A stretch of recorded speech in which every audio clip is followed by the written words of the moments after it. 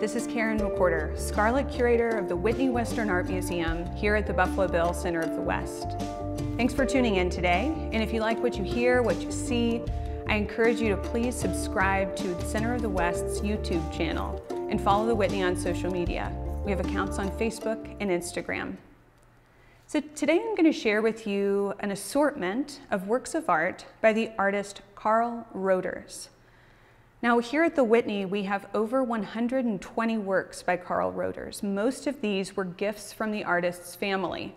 We have many paintings, drawings, sketchbooks, and this collection really runs the gamut. And what's wonderful is with a collection like this, we can really dive into an artist's process and take a more comprehensive look at his or her oeuvre, their body of work.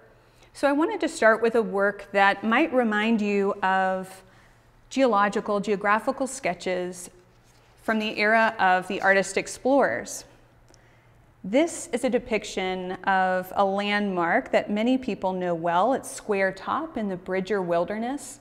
This um, is in proximity to Jackson, Wyoming, which is where Carl Roters ended up retiring.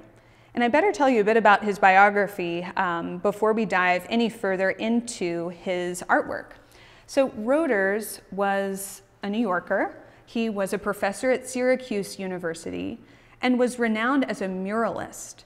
Um, actually, during his time, he painted what was then the largest mural in the world, uh, measuring 1,000 square feet. This was a watercolor mural of the Manhattan skyline. Now, Roters wouldn't have called himself a Western artist, and that's probably the case with many artists represented in the Whitney's collection. Roters was inspired by his surroundings, wherever that might be. So if he was in New York, the Manhattan skyline called.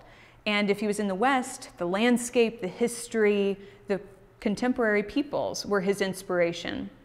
So what brought him west in the first place? Well, interestingly, it was John D. Rockefeller Jr., peripherally. As many of you know, John D. Rockefeller Jr. had much to do with Grand Teton National Park becoming what it is today. Well, he set up a commission in 1957 to hire an artist to create murals for the Jackson Lake Lodge. Roters participated in the commission and ended up winning. Now, the theme of that mural series was to be the fur trade, and the fur trade has roots that are long and deep here in present day Wyoming. Back in the 1830s, earlier yet than that and beyond, the fur trade was taking place, um, and particularly in rendezvous settings around present day Pinedale and Dubois in the Green River Valley. So Roters moved out to Wyoming to spend some time soaking up the environment, the history, making studies, and ended up retiring here actually, spending the rest of his uh, life and career in the Jackson area and creating works that were predominantly Western in theme. So let's check out a bit of his work. Let's go back to his depiction of Square Top. This is a sketch that Roters would have made en plein air or outdoors looking at uh, the feature that he was depicting. It's created quickly with pen and ink and a wash or two there, and it really is just the suggestion of the landform that he could take back with him to his studio and work up perhaps into a larger format painting. Uh, you can see his inscription at the bottom. Hard to see, it's in pencil. Uh, it fades a bit against the pen and ink. But this was actually created on a painting trip, um, or rather a camping trip, and he notes that in his note there on the bottom left. So I mentioned that Roters was very inspired by the fur trade in creating his mural, the successful mural for Jackson Lake Lodge. Well, I want to show you some sketches of mountain men that he created.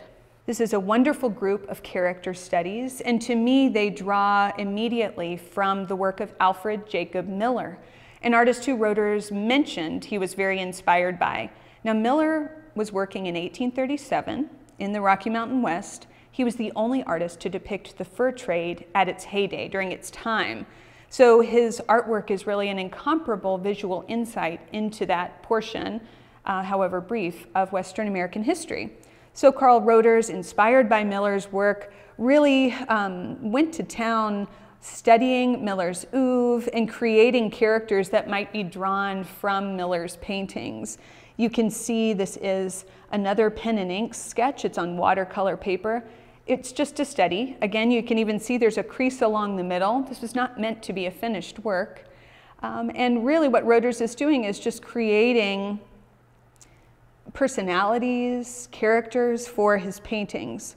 It's not only Euro-American mountain men that he's depicted, but there are also some native figures, a horseback rider in the lower right, proper lower right.